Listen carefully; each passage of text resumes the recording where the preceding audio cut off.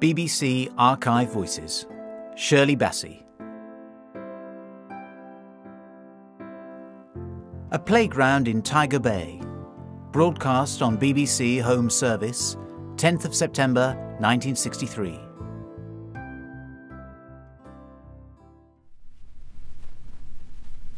I was born in Tiger Bay, over uh, an Indian restaurant. How many years did you spend in that environment?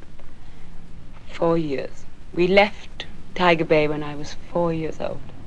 My family moved to a place called Rothdock's Plot, which, which was about two miles away. I think we were the only coloured family that lived in Splott. But we were accepted, you know, like anybody else. We used to go back frequently. Most of your childhood was spent in or around Tiger Bay. Yes, But at that age, I don't suppose it meant anything except place where I was born. This seemed to be the only place in the world until, of course, I left at the age of 16 and I discovered that there were other places. Had your mother and father been living in Tiger Bay for a long time? Oh, yes. All my sisters and brother were born in Tiger Bay. And being as I'm the youngest of seven, they must have been there a long time. Did you Yeah. rough it?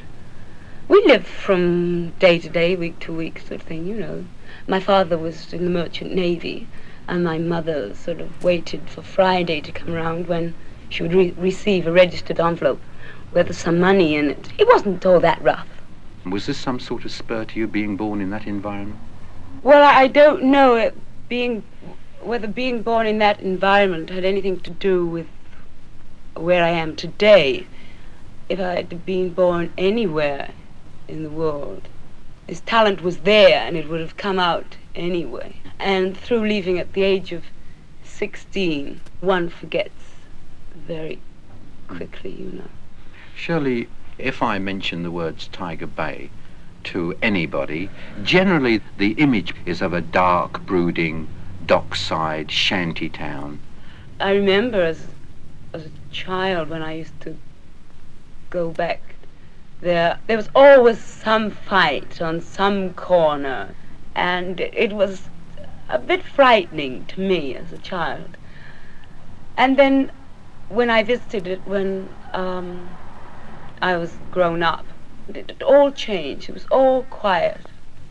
When I was about uh, seven, my mother and my sister, we were walking home after visiting my aunt, and there was this crowd outside a club.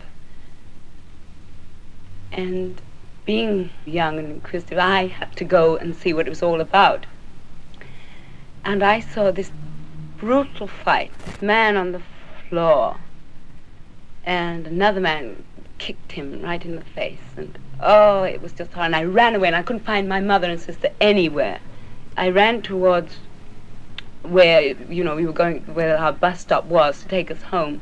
And there was my mother and sister, sort of looking all over, frantic for me, and I was the tears pouring down my cheeks. And I told my mother what I'd seen, and she said, "That'll teach you, you know, to be What? so nosy." This left no scar on you. No, Would you say that you enjoyed your childhood? Yes, I, I, I did enjoy it. I hated school, though. I was a terrible tomboy when I was in school. I loved playing football and climbing trees, playing cricket, and and um, I was just wild. And now that I've grown up, because I hate football, I hate cricket, and I hate climbing trees and uh, all those things that I once enjoyed as a kid, you know, they, they don't appeal to me anymore. Did you, as a child, ever sing in Tiger Bay? In youth clubs, yes, um, tap dancing classes, and private parties, under the table, of course. Yes. I was much too shy to stand there with people looking at me, and I would only sing if they would let me go under the table. Are you a shy person? Basically, yes. Yes. But uh, of course, I don't go under the table anymore to sing. I sing on stage and Yeah, in front of hundreds of people. I'm very nervous about it. But I do it. Can you recall the, the beginning when you first knew that you had a talent and you were going to use this? Now, I've never wanted to use it to get somewhere. I was always being told by people that I had a talent, but I never really believed them because I, I didn't think what I was doing was, was a great gift at the time. It seemed a natural thing to do, you know, to sing.